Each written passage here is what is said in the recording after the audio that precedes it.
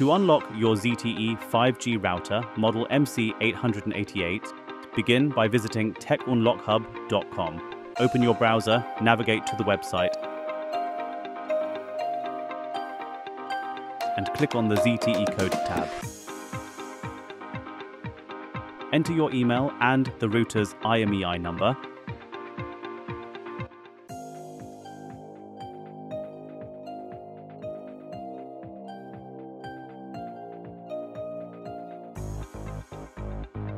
Choose your payment option and complete the transaction. Your unlock code will be sent to your email within the specified time.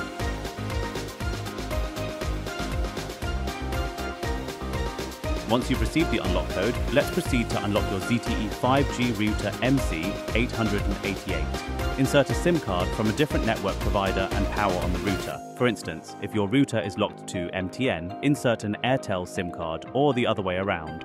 Connect the router to your computer or smartphone using Wi-Fi or an Ethernet cable. Next, open your browser and visit 192.168.0.1 to access the router's settings. Log in with the default password which is usually found on the sticker under the router.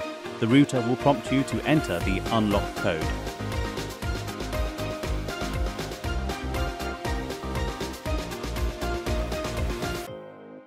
Since you've already received it from Tech Unlock Hub, uh, just copy and paste it.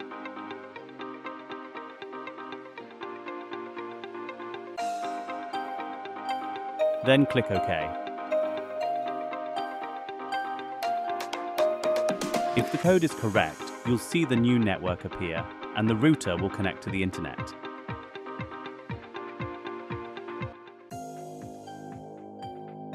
If it doesn't connect automatically, set up the APN for the new SIM card and your router should connect.